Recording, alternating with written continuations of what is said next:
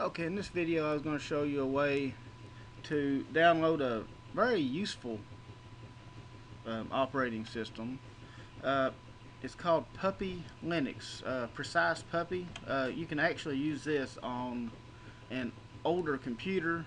Uh, you can also use it to like save somebody's files and stuff. Like say their Windows has crashed and there's no way to recover the Windows without completely reformatting everything.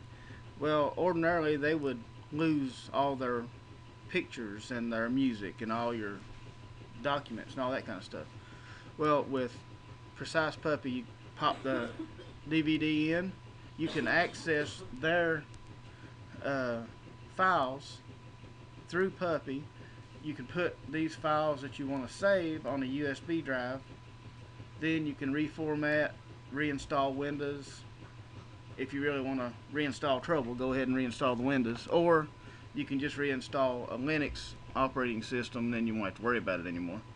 But I'm going to show you how to get it, how to burn it onto a disk, and how to put it onto your computer. Okay, we'll open up Firefox, and as you can see, I've typed in Precise Puppy Downloads. You want to go to distro watch is right here. Now as you can see you've got you want to go to the latest date that you can that is still Puppy Linux and it's precise. Uh, the precise is the one that will work on the older computers. Okay, you click on that and you can get the download right here. It shows precise 5.7 ISO it's only 170 megabytes, but I've already got it downloaded, so I'm not going to download it again. So that will go on a regular CD. Okay, you click on that, it'll automatically start downloading. Then, what you'll want to do, you'll want to put in a CDR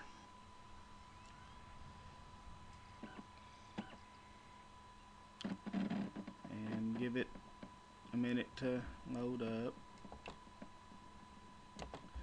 And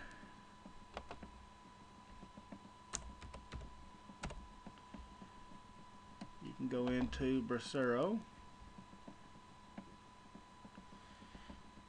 and here is where you've got to be careful because you don't want to just create a data project and just write the data straight to the CD you want to burn the image. So you click on burn image and select the image which it'll usually go into your downloads. And right here it is. Open it. And as you can see there's plenty of free space still left on the disk, but that's all you want to do. Um, click burn. Allow it to do its business here.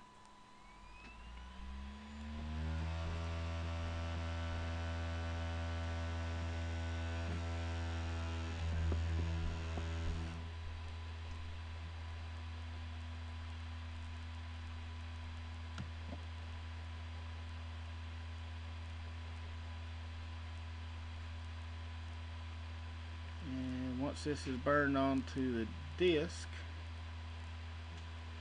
uh, give it a minute to get done here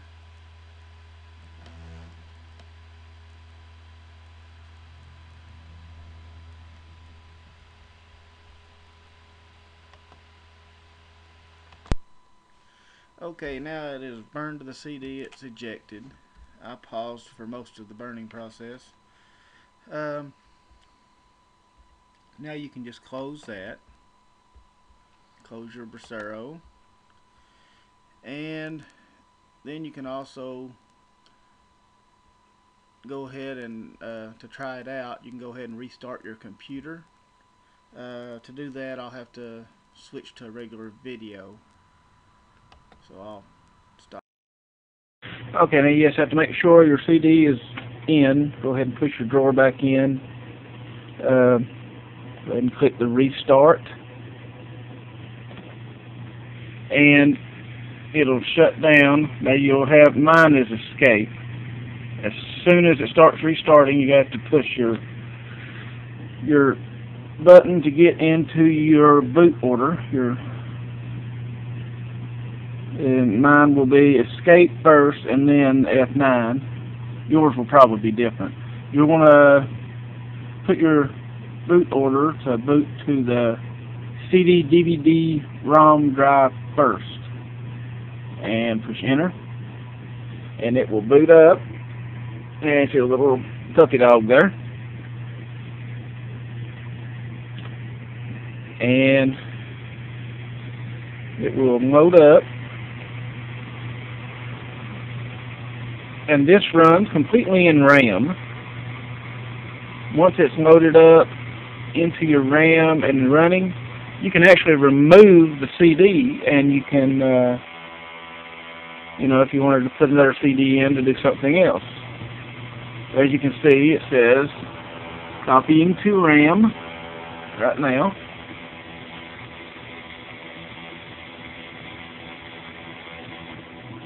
This CD-ROM drive is getting noisy for some reason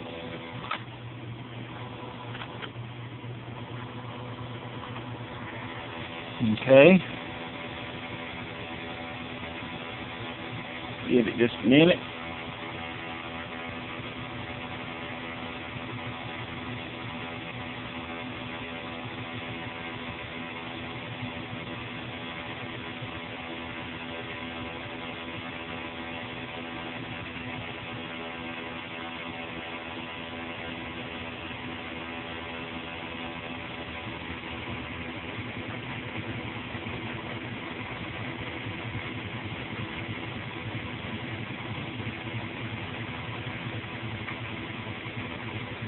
I'll be able to show you how you can get into other operating systems files and folders and you can oh there it goes. Making the file system usable updating network drivers list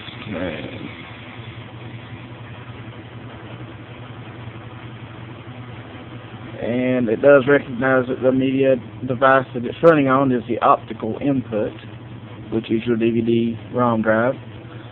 Now, it is pulled up, and it'll of course give you this. You can set up all your time zones and all that kind of stuff here. Um, also, you can set up your network, internet connection. Usually, you can click connect and it it's pretty self-explanatory getting everything hooked up and find your wireless.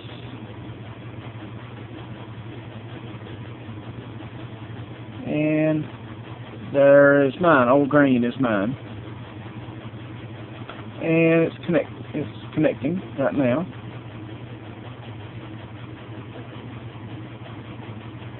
There it is. Okay. Now you're actually connected to the internet. You have your firewall up. And down here, if you'll notice, it shows several pictures of drives. There's Chase.